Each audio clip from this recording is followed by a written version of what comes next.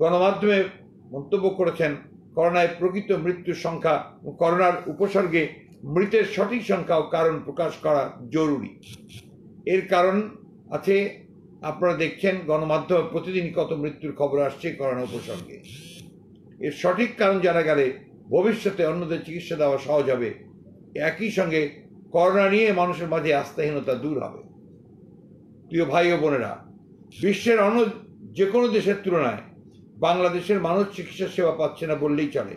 শুধুমাত্র ভিআইপি ও সরকার দলীয় লোকেরা বিভিন্ন হাসপাতালে চিকিৎসার সুযোগ পাচ্ছে। সাধারণ মানুষ কোনো চিকিৎসার সুযোগই পাচ্ছে না। দেশে একটি ভেন্টিলেটর, একটি আইসিইউ বেড ও একটি অক্সিজেন সিলিন্ডারের জন্য হাহাকার চলছে। হাসপাতালে হাসপাতালে ঘুরে চিকিৎসা না পেয়ে অ্যাম্বুলেন্সেই রোগী মারা যাচ্ছে। সিএনজি বা অ্যাম্বুলেন্স স্ত্রীর কোলেই স্বামীর মৃত্যুর খবর গণমাধ্যমে প্রকাশ পাচ্ছে। চারদিকে বিনা চিকিৎসায় মৃত্যুর মিছিল আরও দীর্ঘ হচ্ছে। মানুষের আহাজারিতে বাংলাদেশের আকাশ ভারী হয়ে উঠেছে।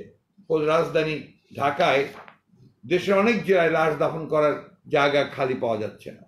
শুধু রাজধানীর কবরগুলোতে গত চার মাসে লাপন দান হয়েছে, দাফন হয়েছে দুই তৃতীয়াংশের বেশি। আর পার্শ্ববর্তী নারায়ণগঞ্জে এ সংখ্যা অনেক বেশি। সাংবাদিক বন্ধুরা, ঢাকা মহানগর উত্তর বিএনপির সাধারণ সম্পাদক আসমিনুল্লাহ হাসান সহ এখন পর্যন্ত করোনায় আক্রান্ত হয়ে বাংলাদেশ জাতীয়তাবাদী দলের ছাপ্পান্ন জন নেতা কর্মী মৃত্যুবরণ করেছেন। আক্রান্ত হয়েছেন আরও একশো একুশ জন। সারা দেশে যে সকল বিএনপি নেতৃবৃন্দ করোনায় আক্রান্ত ও আক্রান্ত হয়ে মৃত্যুবরণ করেন, তাদের তালিকা আমি আপনাদের সামনে তুলে ধরছি। রাজশাহী বিভাগে আক্রান্তের সংখ্যা পাঁচ, আমরা মৃত্যুর সংখ্যা এখনও পাইনি। চট্টগ্রাম বিভাগে ছাব্বিশ জনের খবর পেয়েছি, তার মধ্যে বারো জন মারা গেছেন। কুমিল্লা বিভাগে উনিশ জনের খবর পেয়েছি, আক্রান্ত, তার মধ্যে তেরো জন মারা গেছেন। ঢাকা বিভাগে একচল্লিশ জন আক্রান্তের খবর পেয়েছি, তার মধ্যে সাতাশ জন মারা গেছেন। ময়মনসিংহে একজনের আক্রান্তের খবর পেয়েছিলাম, একজনই মারা গেছেন। খুলনা বিভাগের সাতজন আক্রান্ত।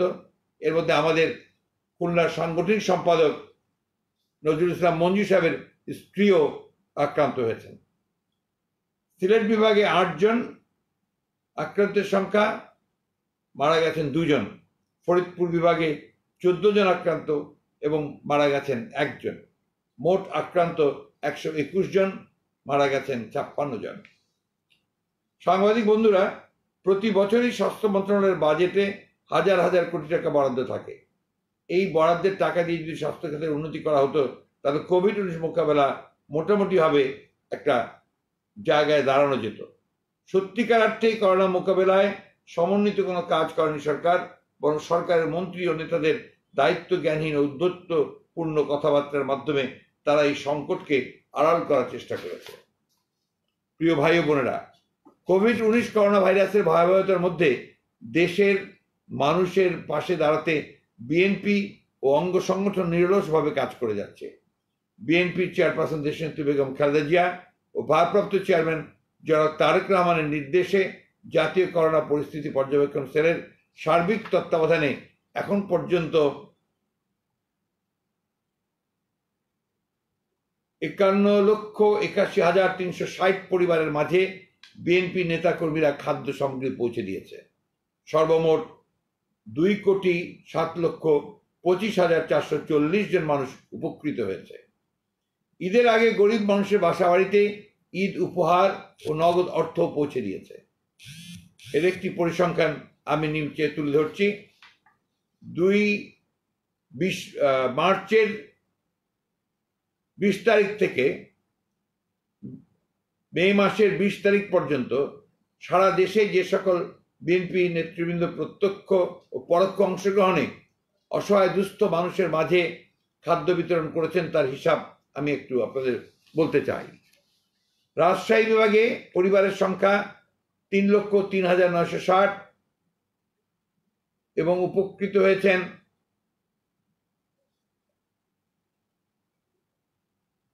বারো লক্ষ পনেরো হাজার আটশো চল্লিশ। চট্টগ্রাম বিভাগে পাঁচ লক্ষ সত্তর হাজার পরিবার সংখ্যা, উপকৃত হয়েছেন বাইশ লক্ষ বিরাশি হাজার তিনশো বাহাত্তর জন। কুমিল্লা বিভাগে পরিবারের সংখ্যা তিন লক্ষ চুয়াল্লিশ হাজার চারশো আটান্ন, উপকৃত হয়েছেন তেরো লক্ষ সাহাত্তর হাজার আটশো বত্রিশ জন। রংপুর বিভাগ পরিবারের সংখ্যা দুই লক্ষ চুয়াল্লিশ হাজার একাত্তর, উপকৃত জনসংখ্যা সাত, ছিয়াত্তর দুঃখিত।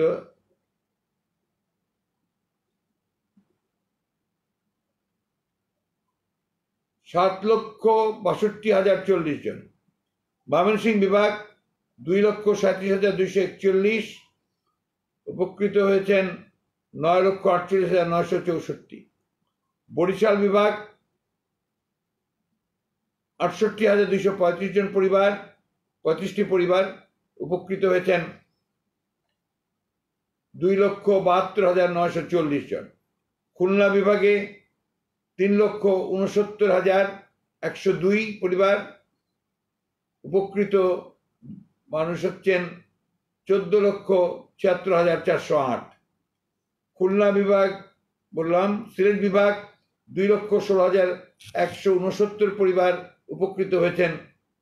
আট লক্ষ চৌষট্টি হাজার ছয়শো ছিয়াত্তর জন।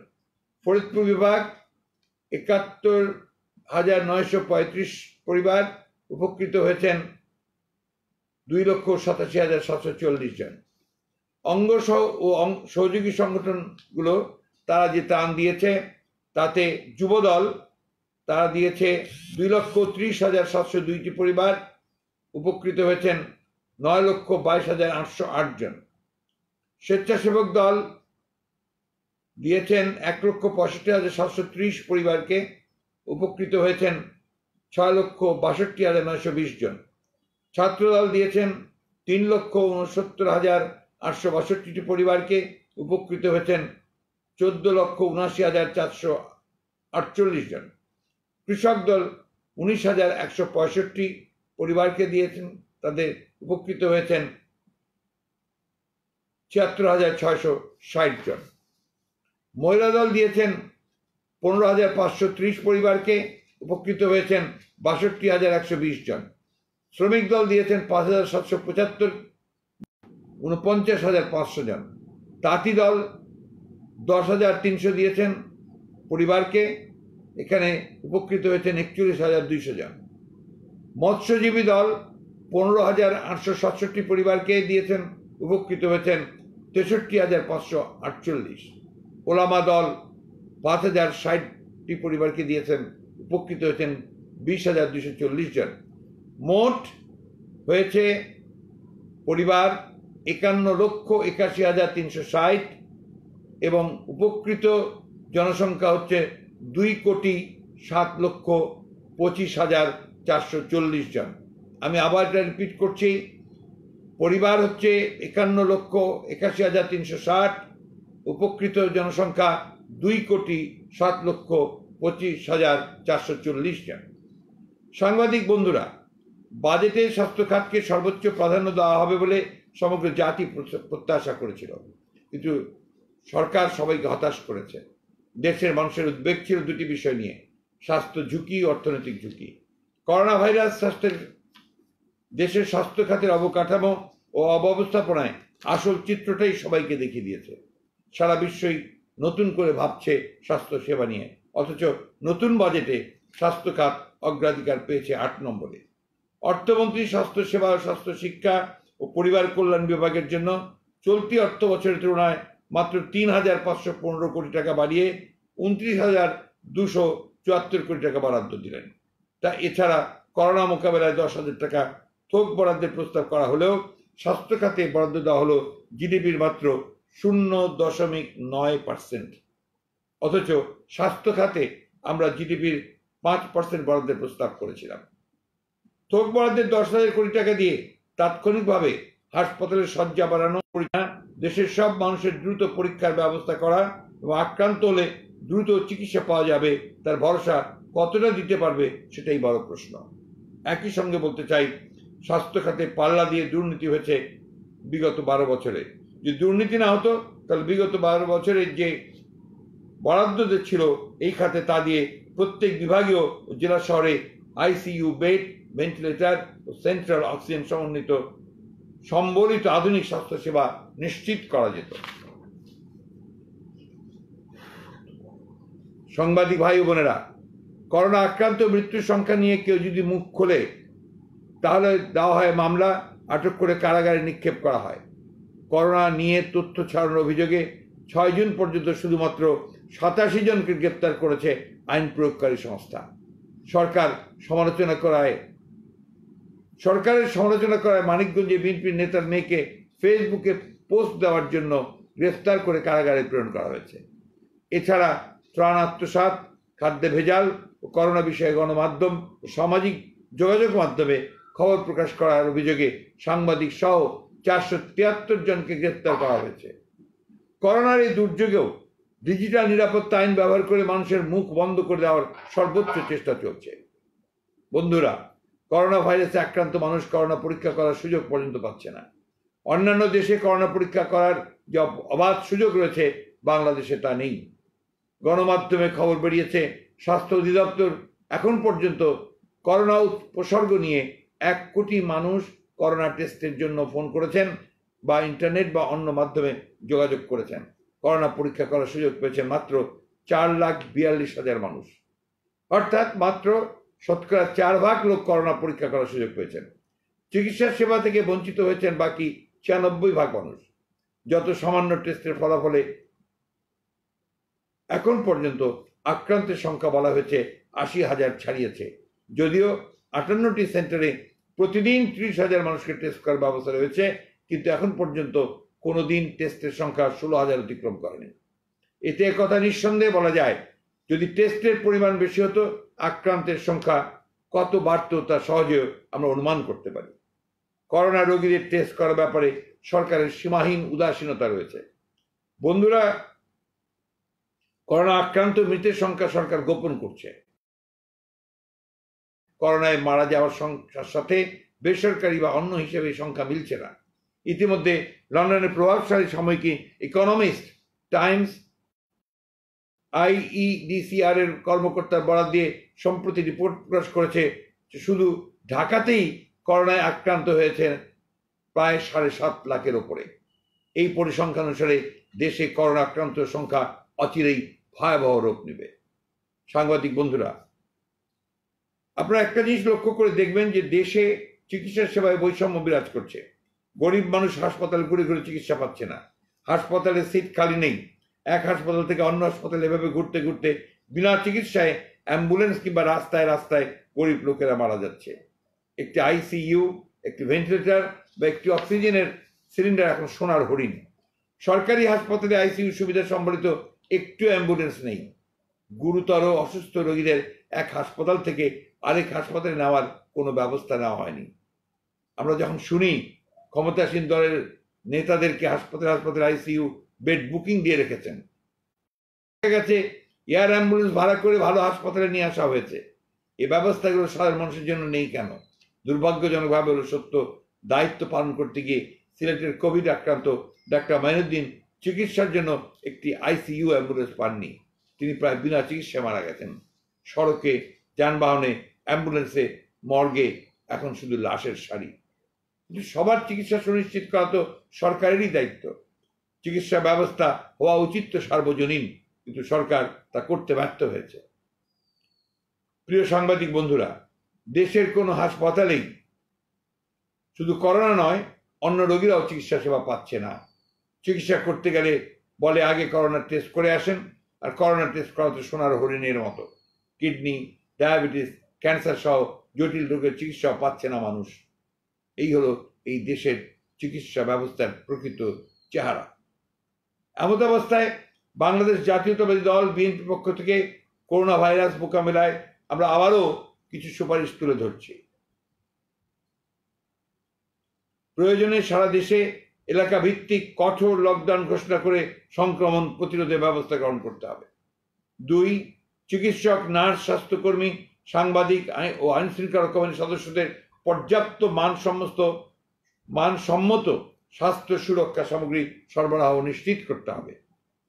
এবং আরেকটি বিষয় অত্যন্ত জরুরি, যে যারা করোনার দায়িত্ব পালন করছেন, চিকিৎসক, নার্স এবং স্বাস্থ্যকর্মীরা, তাদেরকে ওই হাসপাতালের কাছাকাছি কোনো ভালো আবাসিক হোটেলে থাকার ব্যবস্থা এবং খাওয়ার ব্যবস্থা নিশ্চিত করতে হবে।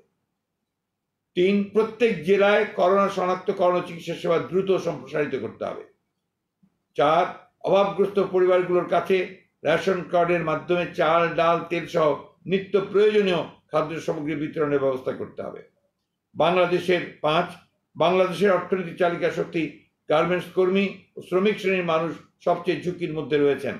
তাদের আর্থিক সুবিধা দেওয়া ও সুচিকিৎসা প্রদান করতে হবে এবং খাদ্য সহায়তা দিতে হবে। ছয় সরকারি ত্রাণ, অর্থ বিতরণে আওয়ামী লীগের ইতিহাস কখনোই খুব একটা ভালো ছিল না। কোভিড উনিশ দুর্যোগেও সরকার দলীয় চেয়ারম্যান, মেম্বার আওয়ামী লীগের নেতাদের অনেকের সেই লুটপাটের চিত্র ফুটে উঠেছে পত্রপত্রিকায় এবং গণমাধ্যমে। তাই দেশপ্রেমিক সেনাবাহিনীকে দায়িত্ব দিলে তা সঠিকভাবে পালন হবে বলে জনগণ মনে করে। দেশের প্রান্তিক জনগোষ্ঠী হইতে উপকৃত হবে। এখানে একটা কথা উল্লেখ করতে চাই। সরকারি দলের কিছু নেতা, বিভিন্ন সংস্থা, বিএনপির জনপ্রতিনিধিদের নামে অনেক সময় মিথ্যা প্রচারণা চালনা প্রচেষ্টা চালাচ্ছে। আমরা খুব পরিষ্কারভাবে বলতে চাই, বিগত উপ, ইউনিয়ন পরিষদ নির্বাচনে বিএনপি কখনোই কোনো প্রার্থীকে মনোনয়ন দেননি, অর্থাৎ বিএনপি নির্বাচনে অংশ নেয়নি। আক্রান্ত মৃতের সংখ্যা উপস্থাপন করতে হবে। তথ্য লুকিয়ে মেকি সফলতা দেখানোর প্রবণতা জনগণের কাছে জন্য ভয়াবহ বিপদ ডেকে আনতে পারে। সর্বোপরি এই করোনা পরিস্থিতিকে অবহেলা না করে, উদাসীন না হয়ে দেশের সমস্ত মানুষকে বাঁচানোর জন্যে সমস্ত শক্তিগুলোকে ঐক্যবদ্ধ করে রাজনৈতিক দল, বিশেষজ্ঞ এবং যারা এই এই চিকিৎসার সঙ্গে জড়িত রয়েছেন তাদের সকলের ঐক্যবদ্ধ মতামত নিয়ে এবং অর্থনৈতিক আহ, বিশেষজ্ঞদের মতামত নিয়ে একটি সমন্বিত প্রয়াস চালাতে হবে। আপনাদের সকলকে ধন্যবাদ। আল্লাহ হাফেজ বাংলাদেশ জিন্দাবাদ।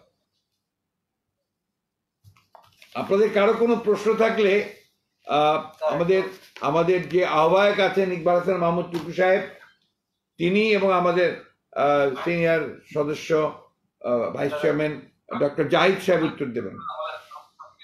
একটা বিষয় স্যার আপনাকে জানাব। জি। আওয়ামী লীগের নেতা এবং সাবেক স্বাস্থ্যমন্ত্রী নাসিম এই বাস্তবে ইন্তেকাল করেছেন সেটি আপনারা- আপনারা- আমি এই জিনিসটা নিশ্চিত করতে আপ- আপনি নিশ্চিতভাবে বলছেন এটা?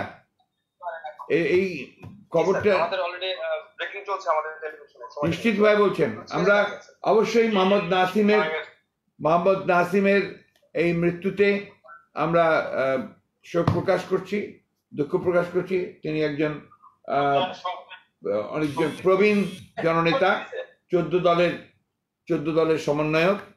আমরা তার মৃত্যুতে গভীর শোক প্রকাশ করছি আহ, স্যার আমার যে যেটি বিষয়ে জানা সেটি হচ্ছে যে আহ, গণমাধ্যম কর্মীদের ফ্রন্ট লাইনার হিসেবে সরকার এখনও ঘোষণা দেননি আপনারা তাদের সুরক্ষার ব্যাপারে আমরা বারবার বলেছি, আপনি জানেন যে প্রথম থেকে আমরা যখন এই করোনা সম্পর্কে কথা বলতে শুরু করেছি, আমরা কিন্তু সাংবাদিকদেরকে সব রকম সুযোগ সুবিধা দেওয়ার জন্য এমনকি সাংবাদিকদের বিশেষ বীমা প্রদান করার জন্য দেওয়ার জন্য এবং তাদেরকে আপনার বিশেষ ভাতা প্রদান করার জন্য আমরা দাবি জানিয়েছি। প্রণোদনার আওতায় কিন্তু গণমাধ্যমগুলো নেই স্যার। হ্যাঁ নেই। আমরা সেটাও বলেছি। একটা বিষয় হচ্ছে যে আপনারা আজকে যে সংবাদ সম্মেলন করেছেন এই সংবাদ সম্মেলনে আপনারা একটি সুপারিশ দিয়েছেন কয়েকটি সুপারিশ দিয়েছেন। তো এই সুপারিশের মধ্যে একটি বিষয়ে আহ, সরকারের আহ, সম্ভবত দ্বিমত রয়েছে এই ধরনের বিষয়টি। বিশেষ করে আপনারা বলেছেন যে কঠোর লকডাউন করতে হবে। কিন্তু সরকারিভাবে বলা হচ্ছে যে এটা যদি করা হয় তাহলে সেক্ষেত্রে অর্থনৈতিকভাবে দেশ পিছিয়ে পড়তে পারে। এবং এই সম্ভাবনাও আছে। তো সেক্ষেত্রে আসলে আপনাদের কথার সঙ্গে সরকারের কথার কতটুকু যৌতিকতা আছে? আপনারা যে দাবি করছেন সরকারের কথার সঙ্গে আমাদের কথা তো কোনো আপনি মিলই খুঁজে পাবেন না। কারণ সরকার তো এটাকে কোনো সমস্যাই মনে করেনি প্রথম দিকে। মার্চ মাসের প্রথম সতেরো তারিখে আঠারো তারিখে তারা দেখলেন যে এখানে একজন আক্রান্ত হয়েছে। অর্থাৎ তিন মাস ধরে সময় পেয়েছিলেন। এই করোনা যখন চীনে আপনার আসলো, আপনার হাজার হাজার মানুষ মারা গেল মহামারী তখন তারা অ্যাসেসই করতে পারেননি যেটা বাংলাদেশে আসতে পারে বাংলাদেশের স্বাস্থ্য ব্যবস্থাকে সেভাবে তৈরি করা যেতে পারে। তারা করেননি। যখন লকডাউন হচ্ছে অন্যান্য দেশে তখন এখানে লকডাউন হয়নি সাধারণ ছুটি ঘোষণা করা হয়েছে। তারা তো বিরোধী দল বলেন আমাদের বিএনপি বলেন বা অন্য যে কোনো দল অন্যান্য দলগুলো আছে তারা সবাই কিন্তু প্রস্তাব দিয়েছে। কেউই তারা সেই প্রস্তাবগুলো মেনে তাদেরগুলো গ্রহণ করেনি। তারা একলা চলার নীতি নিয়েছেন এবং সেই একলা চলার মূল উদ্দেশ্যটাই হচ্ছে যে এখানে একটা দুর্নীতিপূর্ণ একটা আপনার অবস্থা তৈরি করা এবং দুর্নীতি করে যেন আপনার, তাদের নিজস্ব যে আপনার লোকজনের পকেট ভারী করার জন্যই তারা এই কাজগুলো করছেন। কোনো রকমের কোনো বাস্তবসম্মত কোনো পদক্ষেপ তারা এখন পর্যন্ত নেননি। জাহিদ ভাই আপনার কাছে আমার একটি প্রশ্ন আছে আরেক জাহিদ ভাই। ডাক্তার জাহিদ। জাহিদ ভাই আপনার কাছে আমার প্রশ্ন হচ্ছে যে বর্তমানে বাংলাদেশ অন করে দেন জাহিদ ভাইয়ের অডিওটা অন করেন। জাহিদ ভাই। জাহিদ ভাই আপনার কাছে আমার একটি প্রশ্ন আছে।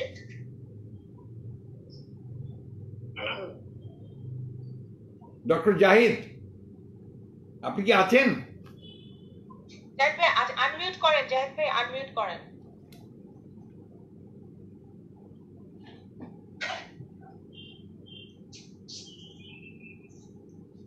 এখন শোনা যায়? হ্যাঁ বলেন বলেন বলেন। জাহিদ ভাই আসসালামু আলাইকুম। ওয়ালাইকুম আসসালাম। আমাদের সময় ডক্টর থেকে টিটু বলছিলাম। কেমন আছেন? আলহামদুলিল্লাহ ভালো। বর্তমানে করোনা পরিস্থিতির যে অবস্থা সেটা হচ্ছে আমরা শীর্ষ দশের দশ দেশের তালিকায় আমরা অবস্থান করছি বর্তমানে। সংক্রমণের দিক থেকে। সংক্রমণের দিক থেকে। তো এই পরিস্থিতি যদি আরও ভয়াবহ হয় তাহলে সেক্ষেত্রে সামাল দেওয়ার ক্ষেত্রে আপনাদের কোনো পরামর্শ আছে কিনা? কীভাবে সামাল দেওয়া সম্ভব হবে যদি এই পরিস্থিতি আরও ভয়াবহ রূপ ধারণ করে? সামাল দেওয়ার ক্ষেত্রে আমাদের মহাসচিব কিছুক্ষণ আগে যে ব্রিফ করেছে রিকমেন্ডেশন দিয়েছেন, আপনি খেয়াল করে ক্যাটাগরিগুলি অত স্পেল আউট করে নাই। এটাকে উনি গুরুত্ব দিয়েছেন যে প্রত্যেকটা জেলায় জেলায় শনাক্ত অর্থাৎ টেস্ট করার যে ক্যাপাবিলিটি আছে, এইটাকে আমাদের এখন ত্রিশ হাজার থাকলে এটাকে ষাট হাজারে ব্যাগ লক্ষ্যে নিয়ে যেতে হবে। এবং র্যাপিড টেস্টকে এখানে যত তাড়াতাড়ি সম্ভব করা যাবে কেস ডিটেকশন হবে কেস ট্রেসিং হবে কন্ট্যাক্ট ট্রেসিং হবে এবং কত তাড়াতাড়ি আপনি এটাকে এলাকা ভিত্তিক, এই যে কথাটা কিছুক্ষণ আগে যে প্রশ্ন করেছিলেন মাননীয় মহাসচিবকে রিগার্ডিং লকডাউন মহাসচিব কিন্তু বলেছে কথাটি, এলাকা ভিত্তিক কঠোর লকডাউন বলে নাই, সারা বাংলাদেশে লকডাউন অর্থাৎ অর্থনীতির যে কথাটি আসছে, সেটি দেখো এখন পূর্ব রাজাবাজারে যে লকডাউন চলছে এই সেটাতে কি দেশের অর্থনীতি খুব ক্ষতিগ্রস্ত হচ্ছে।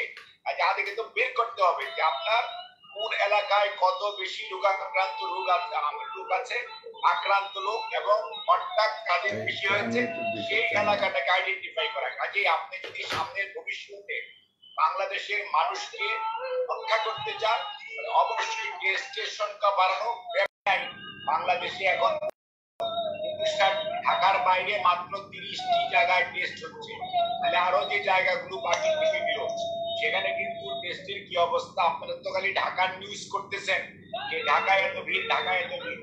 ঢাকায় যারা টেস্ট করতে যায়, তাদের যে দুর্ভোগ টেস্ট বাড়াইতে হবে, সুযোগ বাড়াতে হবে, এবং যদি আপনি জেলা পর্যায়ে নিয়ে যেতে পারেন, প্রয়োজন উপজেলা পর্যায়েও সেটা স্যাম্পল কালেকশনের সিস্টেম ডেভেলপ করতে পারেন। আমাদের লোকবল আছে। আমাদের সত্যিকার অর্থে এই দেশের মানুষকে রক্ষা করার একটা উদ্যোগ অবস্থা হতে পারে।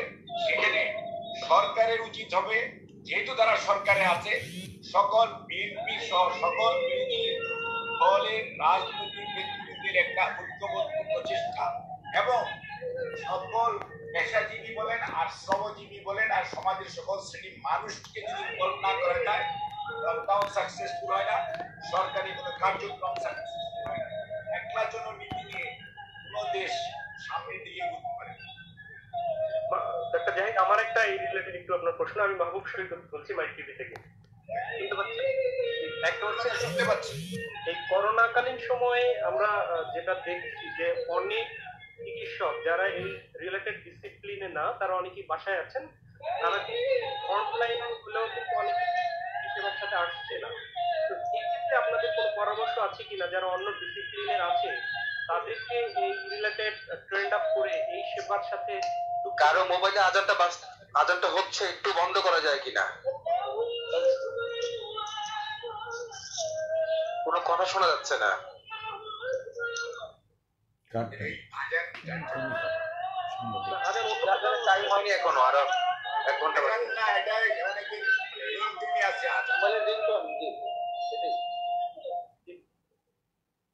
আমি কি প্রশ্নটা বুঝাতে পেরেছি?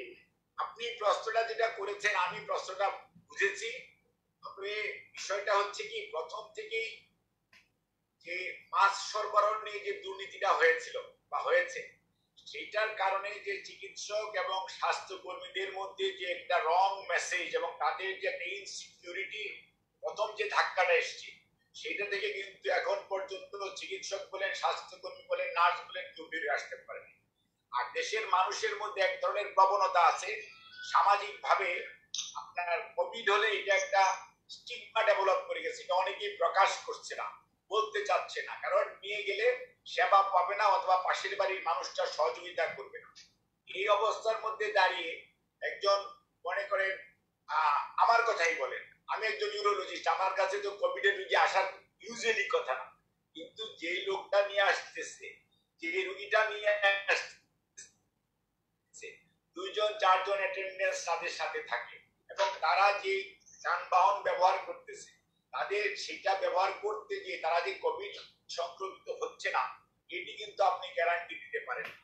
কাজেই আমার সাজেশন যেটা আমরা প্রথম দিকে বলেছি এবং যেটা ড্যাব বলেন জিয়া রহমান ফাউন্ডেশন বলেন এবং অন্যান্য সামাজিক, সাংস্কৃতিক ফিজিশিয়ানস ফর বাংলাদেশ বলেন এবং অন্যান্য চিকিৎসকদের অনেক সংগঠন, তারা কিন্তু অনলাইনে এবং অনেক হাসপাতালও স্বাস্থ্য সেবা ব্যবস্থা তারা কিন্তু প্রোভাইড করছে কনসালটেশন তারা কিন্তু করছে। কিন্তু হয়তো প্রয়োজনের তুলনায় সেটি কম। আরেকটা হচ্ছে এটি করার যে মানসিকতা বা ব্যবহার করার যে উপযোগিতা, এটা অনেক পেশেন্ট এবং ডাক্তার সাহেবের মধ্যে অনেক ক্ষেত্রে ছিল না। কিন্তু এটি কিন্তু আস্তে আস্তে কিন্তু অনলাইন হেলথের যে কনসালটেশন এটি কিন্তু আপনার বেশ এখন কিন্তু আপনারা যোগাযোগ করলে দেখবেন অনেক ক্ষেত্রে। আমরা তো সারা রাত্রই অনলাইন সার্ভিস দিই এবং আমাদের কাছে এমন হয় যে কোনোদিন ঘুমোতেও পারি কাজেই সেটা কিন্তু আমরা we are not unhappy but আমাদের এটা মনে রাখতে হবে যেটা আমাকে এটা নিয়ে বাঁচতে হবে এবং এটা আমাদের করতে হবে এবং স্বাস্থ্য সুরক্ষার ব্যাপারে। আমি যদি নিজে সুস্থ না থাকি হাউ ক্যান আই প্রোভাইড যে যে হেলথ সার্ভিস টু আদার আমার স্বাস্থ্য সুরক্ষা নিশ্চিত যেমন করতে হবে কারণ আমার ফ্যামিলি আমার উপর ডিপেন্ডেন্ট কাজেই চিকিৎসক স্বাস্থ্যকর্মীদেরকে নিশ্চয়তা দিতে হবে যে তাদের নিশ্চিত হইতে হবে যে they should be very much safe এবং নিড টু প্রোভাইড এবং দে আর মানে ethically morally bound to provide the survey, uh, consultation service to the patient. এই ব্যাপারে কোনো দ্বিমত নাই। এই ব্যাপারে এখনও কিছুটা হয়তো আমাদের কিছু জান আছে বাট আমার মনে হয় যে আগের যে পরিস্থিতি আজকে থেকে এক মাস আগে যে পরিস্থিতি ছিল এখন কিন্তু আপনার পরিস্থিতি অনেকটা উন্নতি হয়েছে এবং আমরা মনে করি যে এই উদ্যোগটা যদি অব্যাহত থাকে এবং সর্বোপরি সরকারেরও খালি প্রথম দিকে দেখেন পিপি নিয়ে কত ধরনের মানে ফেলাছে আমরা তখন অনেকের কথা শুনে আমাদের হাসি পাচ্ছে।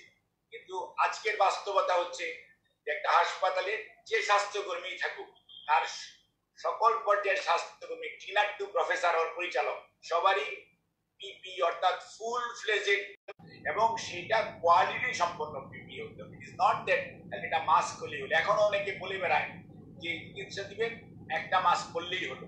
না জেনে যদি বলেন, তাহলে তো কিছু করার নাই। আবার দেখেন ডব্লিউএইচও এখন বলতেছে, সবাই you need to wear the PP you need to maintain the distance and you need to wash your hands তিনটা জিনিস না করলে হবে না। আপনি ঢাকার শহরে এখন বের হন, আপনি দেখবেন মাস্ক পরা অনেকেই আছে, আবার কিছু লোক মাস্ক পরা নাই। আবার ডিস্টেন্স মেনটেন আপনি দেখবেন ডিস্টেন্স মেনটেন অনেক ক্ষেত্রে করতে পারছেন আর হাত ধোয়ার কথা, সেটার কথা আমি বলতে চাই কাজেই খালি ডাক্তাররা সেবা দিলেই হবে তা না। রুগীদেরও সচেতন হইতে হবে, সরকারের সেই ক্ষেত্রে উদ্যোগ থাকতে হবে। সর্বোপরি সকল মানুষের মধ্যে যদি আপনি একটা ঐক্যবদ্ধ মনোভাব সৃষ্টি করতে পারতেন, যদি আজকে সবাই দেখতো বিএনপি আওয়ামী লীগ এবং অন্যান্য রাজনৈতিক দলের নেতৃবৃন্দ একটা হচ্ছে জুম মিটিং করেছে। তাহলে কিন্তু দেশের মানুষ আশান্বিত। বাংলাদেশে তো ওই যে বিভাজন যেটা ছিল ওই বিভাজন নিয়েই চলছে। আমি করব অন্য কাউকে করতে দেবো আমি ভালো জানি অন্য কাউকে করতে দেবো এই মানসিকতা থেকে বেরিয়ে আসেন দেখবেন ঐক্যবদ্ধ হলে স্বাধীনতার যুদ্ধে যেমন স্বাধীন হয়েছে ঠিক একইভাবে করোনার যুদ্ধে হয়তো আমরা জয়যুক্ত। স্যার মাননীয়। জানার সেটা হচ্ছে আহ, সংখ্যা বলেছিলেন স্যার। আমি একজনের দুইজন বলছেন একজন বলেন। আমি সালিম বলছিলাম টিভি থেকে স্যার। হ্যাঁ বলেন। এটা হচ্ছে যে আপনি সংখ্যা বলেছিলেন স্যার বিএনপির এই পর্যন্ত কতজন নেতা কর্মী মারা গেছেন এবং আক্রান্ত হয়েছেন? হ্যাঁ আবার একটু বলবেন অনলাইনে কারণ আমরা বুঝতে পারিনি তখন ও আচ্ছা আচ্ছা আচ্ছা আচ্ছা। দাঁড়ান আমি আপনাকে আবার দিচ্ছি এটা। বিএনপির আক্রান্ত হচ্ছেন এখন পর্যন্ত আমাদের কাছে যেটা এসছে একশো একুশ জন। আর মারা গেছেন ছাপ্পান্ন জন। থ্যাংক ইউ স্যার জি। জি, জি, জি। প্লিজ একটা বিষয় এখন পর্যন্ত আপনার যে অভিযোগ সেই অভিযোগগুলো আপনার আপনার সাউন্ড ভয়েসটা আরেকটু পরিষ্কার করেন। আচ্ছা, আপনার যে সমস্ত অভিযোগ করছেন মাননীয় মহাসচিব সেগুলো অনেক ক্ষেত্রেই ঠিক আছে যে এখন যে মহামারী এই মহামারীটা ব্যবস্থাপনায় সবচেয়ে বেশি তারা ব্যর্থ হয়েছে। এখন নতুন করে আপনারা বলছেন যে সব রাজনৈতিক শক্তিকে ঐক্যবদ্ধ করে প্রতি ঐক্যবদ্ধ করে। এখন কিন্তু একটি পরামর্শ কমিটি আছে হয় না। অনেক সময় সেই জায়গাটাতে খুব বেশি ঘাটতি রয়েছে তো আপনার কি এর আগে বললেন যে সেনাবাহিনীকে ত্রাণে ইনক্লুড করা। তো আপনার কি যে ব্যবস্থাপনার ক্ষেত্রে যে ঘাটতি সেই জায়গাটাতে বিএনপির পরামর্শ কি হবে? একেবারে ভয়াবহ ঘাটতি ব্যবস্থাপনায় না, আমরা আপনার তো এই কথাটা বারবার বলে আসছি। নট দ্যাট যে আমরা বলিনি, আমরা বলছি এক- একবার না, কয়েকবারই। বলছি যে এটাকে আপনার যেহেতু তারা পারছেন না, এবং যেহেতু তাদের এখানে কোনো মনোযোগ নেই, সুতরাং let there be unity of all the forces করে ওখান থেকেই আপনার ব্যবস্থাপনার দিকটা বেরিয়ে আসবে। এখন তো অভিজ্ঞতা হয়েছে অনেকগুলো। আপনার যে, যেমন আপনি বললেন যে আপনার টেকনিক্যাল অ্যাডভাইজারি কমিটি আছে তাদের পরামর্শটা শুনলেও তো হয়। তাদের পরামর্শ তারা শুনছে না। আপনার প্রধানমন্ত্রী যিনি ব্যক্তিগত চিকিৎসক আবদুল্লাহ সাহেব, তিনি বারবার করে বলছেন যে এই কাজগুলো করো, এই কাজগুলো করো এই কাজ করো। তারাও সেটা করছে না। কারণ গভর্নমেন্ট আসলে ফেল করেছে কোথায়? ফেল করেছে যে দেয়ার ইজ নো গভর্নেন্স কেউ কারও কথা শোনে না, কোনো সমন্বয় নেই। কথাটা আমি বারবার বলছি। যে আসলে একটা ডিপার্টমেন্টের সঙ্গে আরেকটা ডিপার্টমেন্টের সমান নেই। একটা অফিসের সঙ্গে আরেকটা অফিসের সমান নেই। আপনার ডিরেক্টর একজন বলছেন তো অ্যাসিস্ট্যান্ট ডিরেক্টর আরেকটা কাজ করছেন সিভিল সার্জন একটা করছেন তো আপনার হেলথ ডাইরেক্টর আরেকটা করছে। এবং ডিএমপি যে আপনার নির্দেশ দিচ্ছে, তার সঙ্গে আপনার এই, আমাদের দোকানদার সমিতির কোনো কথার মিল নেই। গার্মেন্টসের যে মালিকরা যা বলছেন, তার সঙ্গে আপনার আমাদের মন্ত্রণালয়, অর্থাৎ আপনার কমার্স মিনিস্ট্রি তাদের কোনো মিল নেই। There is no governance no coordination nothing